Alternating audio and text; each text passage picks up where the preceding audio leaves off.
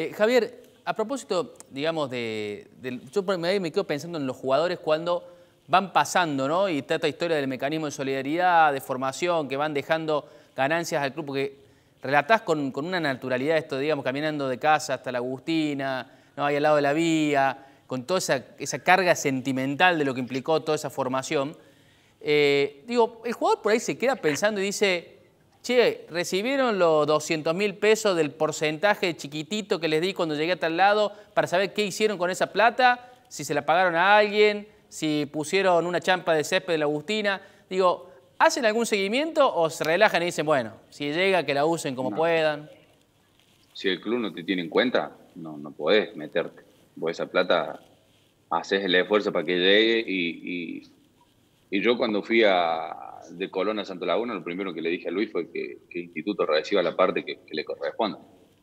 Como así la, la, tiene que recibir Unión Florida, como que la tiene que recibir el, club que me abrió la puerta, la tiene que recibir. Porque ellos también gastaron e invirtieron en mí. Pero porque yo soy así y, no, y no, nunca recibí un llamado, digamos, de, de nadie de instituto, ni de Pagón, ni, ni de nadie, de diciendo, che, Javi, gracias, o no, nada, no la necesito tampoco porque yo sigo viviendo y sigo comiendo, pero por ahí, no sé. ¿Vos sentís, que le devolviste, vos sentís que le has, devuelto, digamos, preocupándote? Porque fíjate lo que vos decís. Yo le pedí a Luis, a Grillo, ¿no? Eh, que por favor le llegue la parte instituto.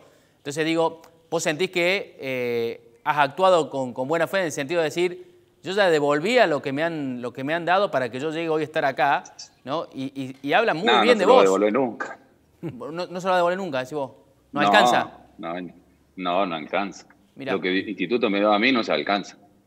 No se alcanza con plata. Por más de la forma en la que te fuiste, digamos.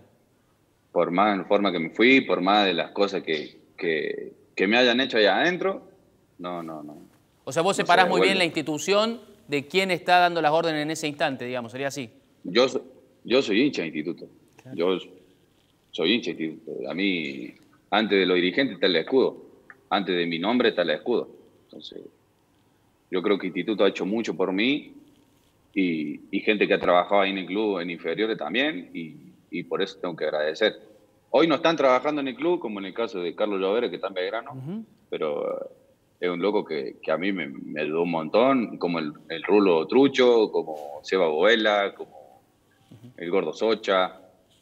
Son, son gente que a uno se ha aportado muy. Mario, Marito Pizarro, que era utilero eh, mi tío La Pera también, que es utilero, están ahí, Characho. Claro. Vos sabés que me quedo con una frase que dijiste, Javier, de que por ahí no nos tienen en cuenta. Y pienso, ¿no? Mientras vos lo decías, esto de por ahí no nos tienen en cuenta, porque realmente vos, realmente Guanchope, bueno, ahora el Loco Carranza volvió, pero el Loco Carranza, ahora Caranta, eh, después de lo que fue ese sacudón de, volver a talleres, también eh, medio como que baja, baja tierra todo el mundo instituto. Y así podríamos nombrar un montón de jugadores que todavía están en actividad y que realmente por ahí escucharlos es interesante, no tomar decisiones, sino tenerlos en cuenta, escuchar sus experiencias, que pueden brindar alguna situación que puede ser una herramienta para los dirigentes de turno.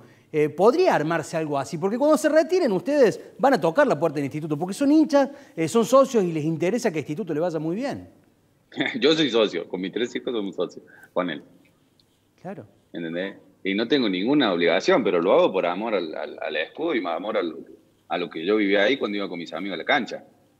Eso no me lo va a borrar nadie. Por más que yo haya pisado el césped, mi amigo no, eso no me lo va a borrar nadie. Eh, pero pasa que, cuando no tenés, ponerle yo me veo en el caso de Mauri, que vos decís Mauri. Capaz que el loco no recibió ninguna llamada de nadie. Y tampoco uno, uno es, es jugador y, no se va a ir a arrastrar para que le abran la puerta. Total, total el sábado vas a estar pendiente de cómo le va el equipo y cómo salió y chao, punto, se acabó.